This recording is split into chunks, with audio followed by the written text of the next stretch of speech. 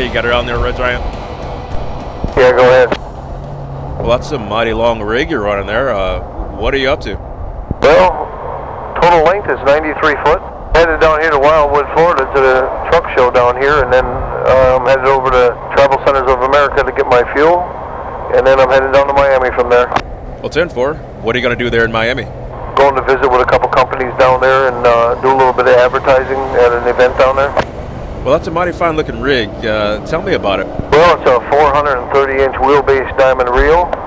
It's got two 11 by 6 foot LED screens, and it's made mostly for advertising purposes. So I got a four and a quarter cat with an 18 speed, and I have uh, 308 rear ends in here. How many drive shafts do you got there? There are six drive shafts in here, five carrier bearings, and 12 U joints there. 10-4. Well, somebody spends a lot of time greasing there, right? Yeah, 10-4. I got that. Now, tell me about that second axle you got there. Well, that's a pushable steer axle, and that is built actually to stay on the ground because my tractor's 43,000 pounds alone. 10-4, so you're saying that that, uh, that tire steers where the front tire steers? Yeah, it follows the front steer axle in forward and reverse. Uh, S&J built the chassis, everything front to back on here, and I'll tell you, they did a fantastic job, and I would I would suggest S&J Truck Sales in Fort Wayne, Indiana for any stretch frame on their truck. And who built that bunk there for you? Oh, ICT built the sleeper on it. How many inches is the sleeper? Uh, the sleeper is a 252 inch sleeper. It's got uh, 16 foot slide outs. They slide out about 24 inches, 20 to 24 inches on each side.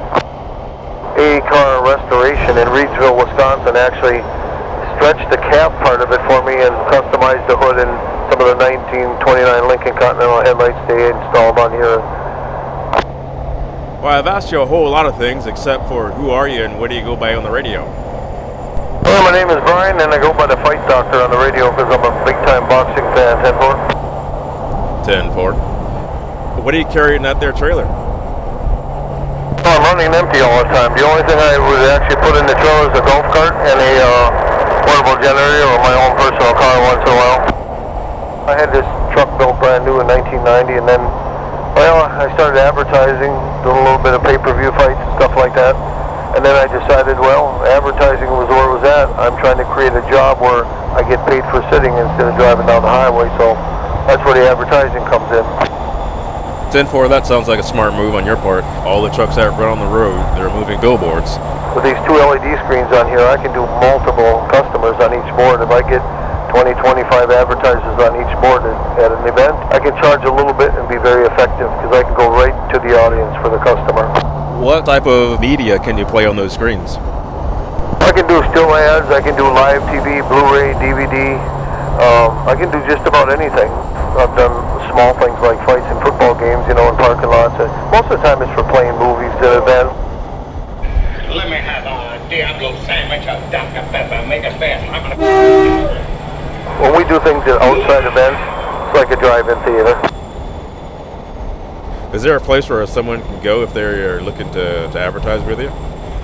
Reo, R-E-O, mobile, M-O-B-I-L-E, media, M-E-D-I-A, dot com. Reomobilemedia.com.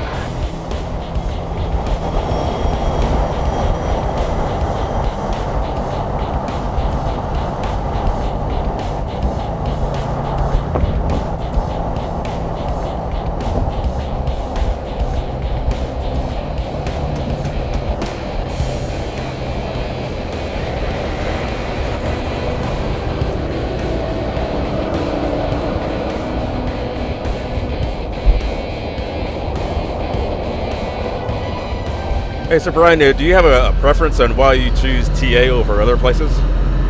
I choose uh, TA over Petro because the last year full service truck stops out here and they're always willing to go the distance for the driver. I mean, they've been putting in exercise rooms, basketball courts, walking trails, and they always have good food, so that's the reason why I stop there.